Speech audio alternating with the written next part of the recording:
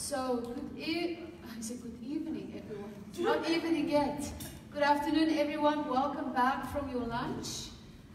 Uh, we are going to uh, talk now a little bit about a, a message to Christian leaders. Now, uh, you may sit here, you may think, okay, I don't, I can tune out because I'm not a pastor or something, but we are all Christian leaders where we are. But uh, specifically uh, in this session, I, I do want to address pastors. And again, uh, I'm so grateful for the pastors that have invited us to, to come and to, to open your doors and for us to have the opportunity, and for even myself tomorrow going to speak at uh, Pentecostal Church. We are so grateful. Before I go, um, I have. Uh, I have a, a, a, few points that I will bring, you know, the kind of the message that I have for Christian leaders. But I, I want to say that um, I want to say this to all pastors: is we need each other to to reach the LGBTQ community or those who are broken in, in our communities. We, we need to work together. And, uh, you know, uh, here we are uh, sharing our journeys uh, and what we have gone through. And so we want to come alongside you. We, we don't want to take your job. But I sometimes think about pastors, I'm like, how do you even cope? How do you even cope with the responsibility that you carry on your shoulder to lead a church and to be a pastor? It's such a tremendous job. We are aware of that. And, and the cry of my heart and for this ministry is for pastors to bring us in so we can help you, so that you can help others. You know, many people have said, Wilna, you guys are experts. No, no, no, we are not experts, but we've been there, done that. And so I can share from my experience as living and practicing a homosexual life as a former lesbian. So, so I know what I'm talking about. I've been there, you know. And don't get me wrong, I'm not, try, I'm not elevating myself, but we speak from experience. The parents that share their testimonies, we speak from experience. So thank you, thank you for uh, bringing us in and making a way to, to, to bring this uh, challenging topic and so that we can help other people. So, um,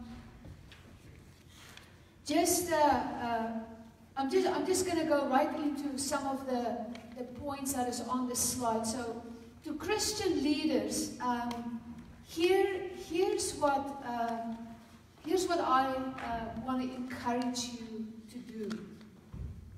Uh, in talking about the topic of homosexuality, number one is you need to examine your own heart first and foremost. So, as we were talking this weekend about the different kinds of glasses, uh, what kind of glasses are you wearing in regards to, you know, the LGBTQ community? So uh, if your glasses is the wrong glasses, we last night we ended the evening by we we we talked to the Lord, we, we gave it to Him and said, God, I, I'm wearing the wrong glasses. I'm repenting. I want to put on the Jesus glasses. So, so you need to examine your own heart first and foremost. What is in your heart towards uh, the LGBTQ community? If it's been that you've been wearing the, the wrong type of glasses, then uh, we need to humble ourselves, we need to repent, you know, and then even uh, share that publicly with your congregation uh, for even wrong beliefs that you've had uh, towards, uh, you know, this whole topic. Because if you do that, this will pave a way for your leadership uh, and as well as your congregation. Because our attitude towards the LGBTQ community will filter through the pulpit. You are going to influence people. So if you humble yourself and you repent, you know, it will affect your whole congregation if you had the wrong glasses on.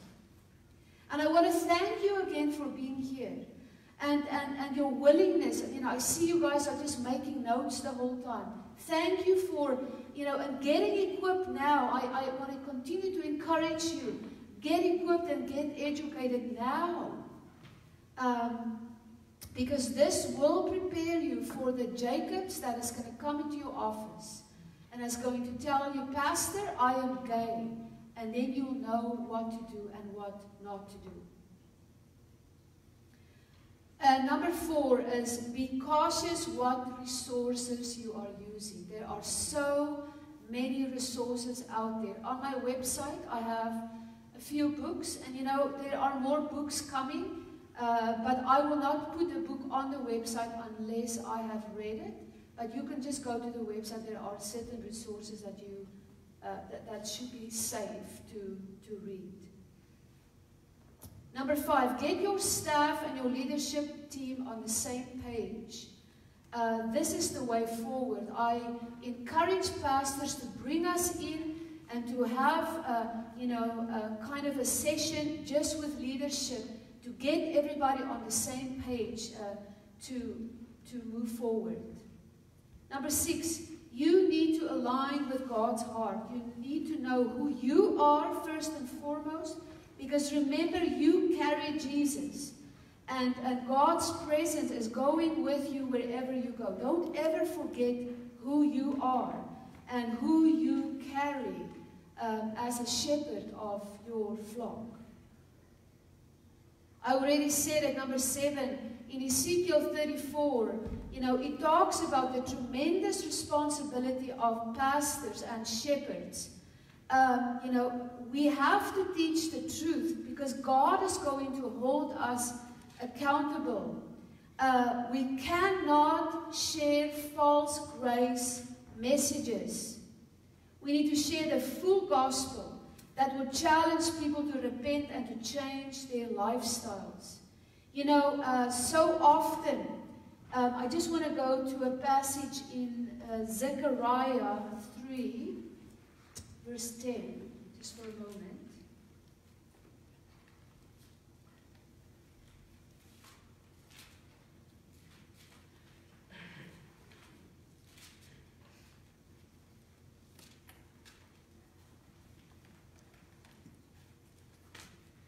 That's the wrong scripture. So, um,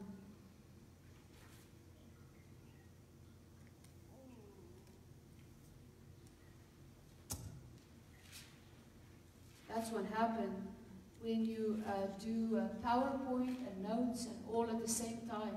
Then you miss certain things. But what I'm trying to say is, um, we, we should not become goat leaders. Goat leaders mean we go and we start to uh, share uh, messages. You know, uh, uh, if you remember what I shared earlier about uh, Canada is becoming a goat nation because we are going away from living righteous. We're accommodating culture in our church instead of taking the, the church into the world. We bring the church into our churches and we accommodate culture. That is uh, uh, what it means to become a goat leader because we, uh, we don't live um, according to God's ways anymore. So for you that as a pastor, you know, um, you need to share the full gospel and not false grace messages. You carry a great responsibility and God is going to keep you responsible or accountable. Number eight, be courageous. You are so courageous that you brought us in.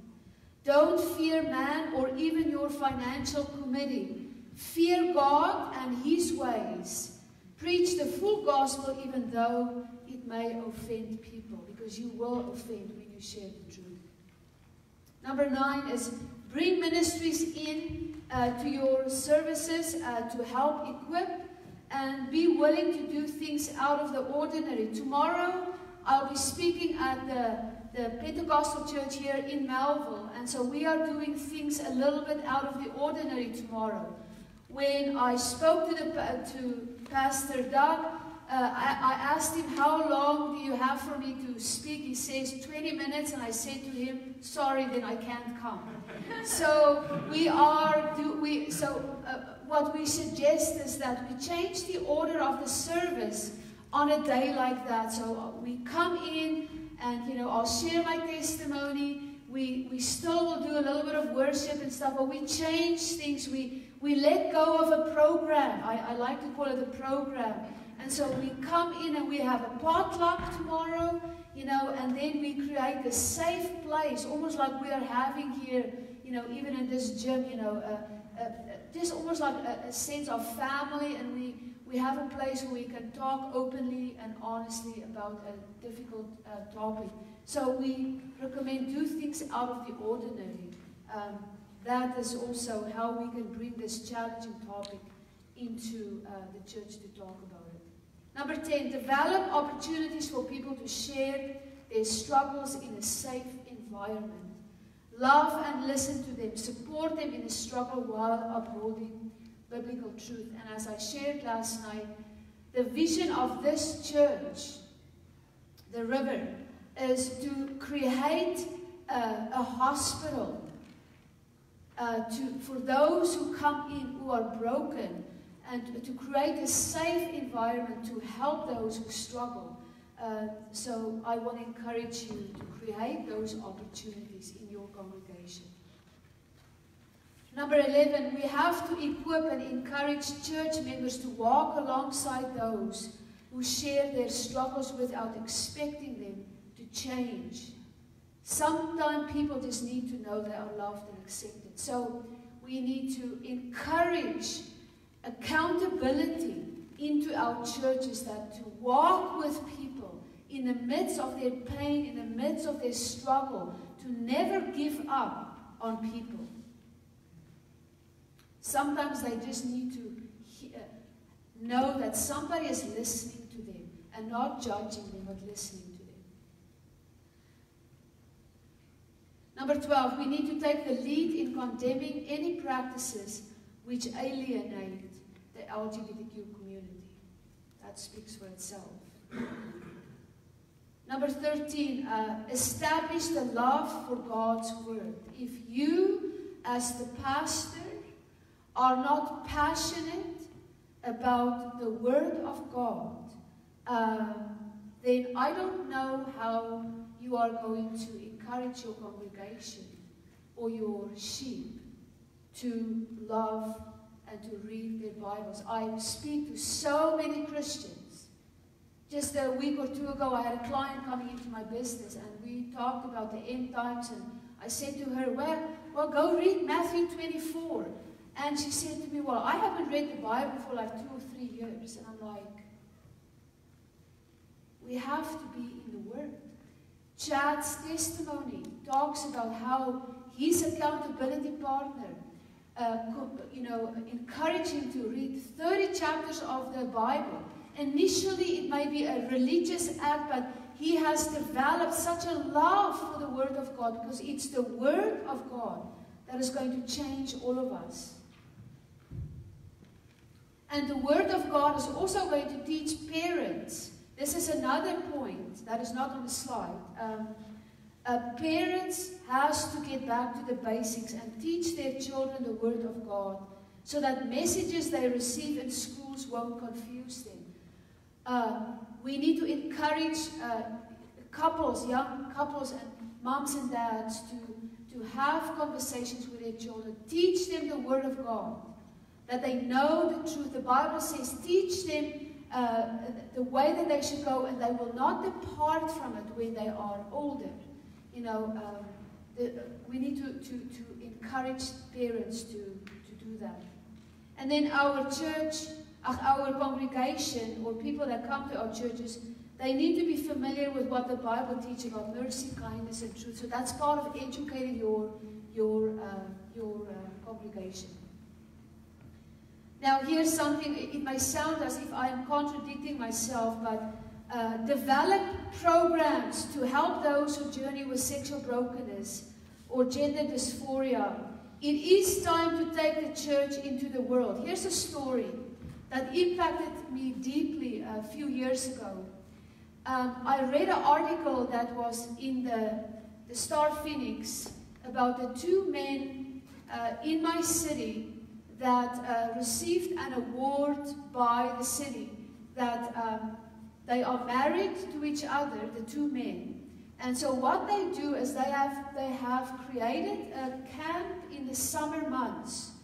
And what they do is they take young people who struggle with sexual identity issues and they will take them to the camp and they will laugh on them, they will listen to them, they are they will accept them and they will also encourage them to embrace their same-sex attractions or whatever sexual brokenness they and to actually affirm them and say you can live a homosexual life. When I read the article for the first time, I, I wanted to jump on my judgment wagon because we can all go there.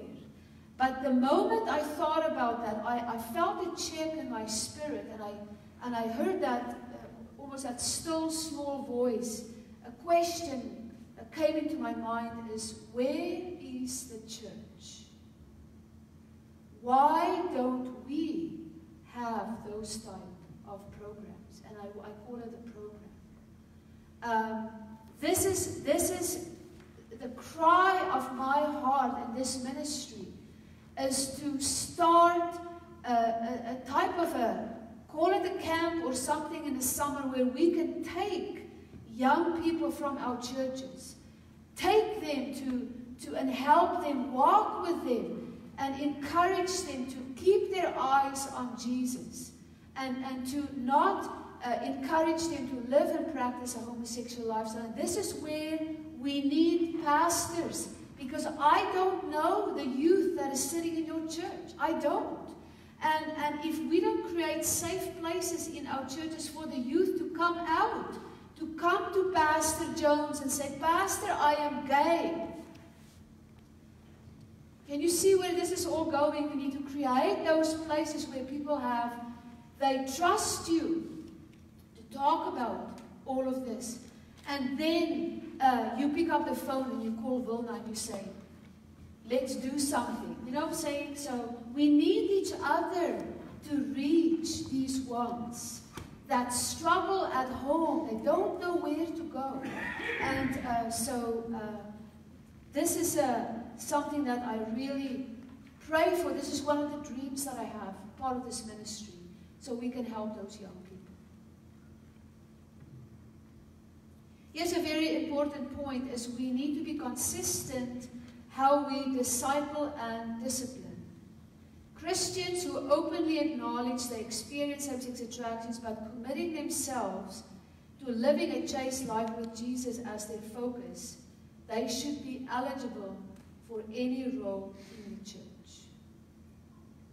Too often uh, we make distinction between sin in the church. We need to be consistent. Doesn't matter what people uh, struggle with. You know, don't elevate the, the sin of living and practicing homosexual life above that leader in your church that, you know, is sleeping with other members of the church or something like that. You know, you get what I'm saying, right?